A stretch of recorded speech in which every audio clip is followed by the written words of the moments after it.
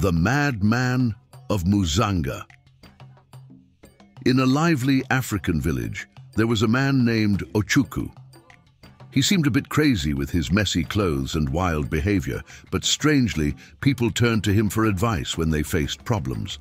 They feared him on the streets, yet sought his wisdom when troubles arose. Ochuku would sit beneath a big, old tree, talking to himself in a way that confused everyone. Villagers, despite their initial hesitation, would approach him cautiously, hoping to unravel the hidden meaning in his words. One day, as the sun set and shadows lengthened, an old woman named Amina bravely approached Ochuku. Ochuko, I need your help. Something troubles me deeply. She needed advice on something that deeply troubled her. Surprisingly, Ochuku's words, though cryptic, brought her comfort and clarity. Suddenly, a bright light surrounded Ochuku, astonishing everyone. He stood there transformed, no longer appearing mad. He explained that his apparent madness was a unique gift that allowed him to understand the world in a special way. The strange aura was a connection to something divine. News of Ochuku's change spread quickly. People now sought him not just for advice, but also for healing and guidance.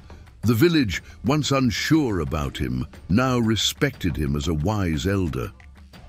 Ochuku continued helping his community, blending the odd wisdom from his mad days with the newfound clarity. The old tree, once just a quiet observer, became a symbol of the village's journey from doubt to profound understanding.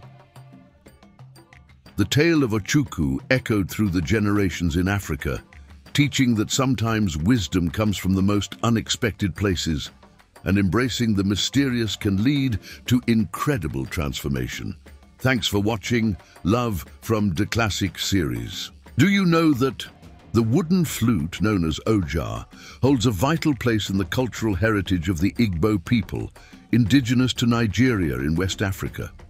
It remains a key element in their musical traditions, crafted from bamboo or metal.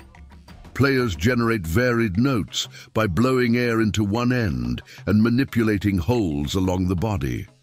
Skillfully carved from wood, the oja contributes to the enchanting sounds of traditional Igbo music, often accompanied by other instruments in cultural events and activities.